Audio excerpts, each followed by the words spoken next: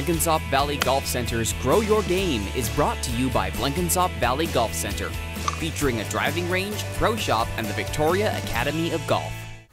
Whether you're hammering a wood or a driver or swinging on a seven iron, you need to know how to stand and hold one of these things. So Dale, help me get a grip here. I've got a hammer here to help you. I want you to grab this hammer with your left hand. Notice how your wrist is off to the side.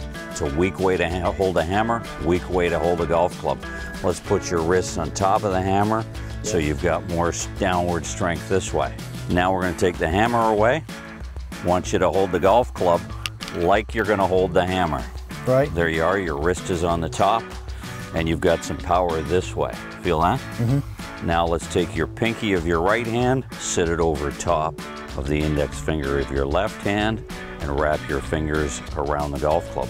That'll join your hands together so they become one unit. Now we're gonna check grip pressure. We're gonna make sure that your hands are soft enough that your hinge can work up and down, your wrist can work up and down. Can you hear the squeaking? I can. We've got some oil for that. All right, let's go into your posture now. I want you to follow me. Keep the club up like that. We're going to go from here. We're going to bow and bend. We're going to bow until the club hits the ground.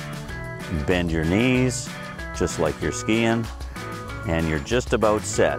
Your weight is even, left foot to right foot. The golf ball will be for your irons right in the middle.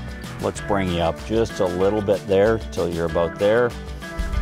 That looks great. You're ready for the uh, Golf Magazine photo shoot.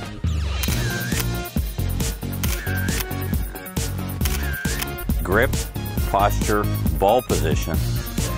Now he's ready to hammer it out there.